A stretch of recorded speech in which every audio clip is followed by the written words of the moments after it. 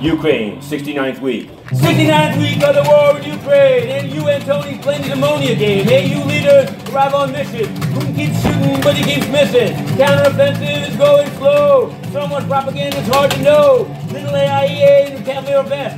UN so low, this is their best. The UN is failing on Ukraine, and it's not just the veto being called Tony Guterres. And six long years called Putin Papacito.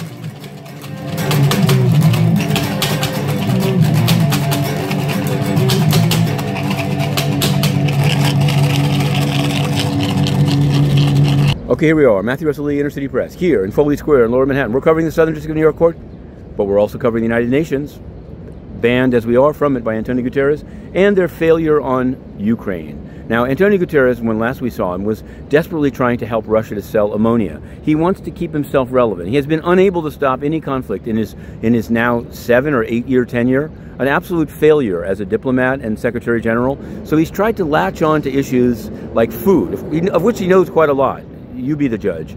Um, but even that's failing. It, it seems that this deal might fall apart in July unless he can come up with something. Now, Putin is apparently, Russia is reaching out. There's going to be a summit. He's going to talk directly to Africa to try to get it, to take away the sort of moral component of it. But what I want to say is I, I, people need to eat. The UN often is in the business of stealing food, if not food, the money that is intended for people.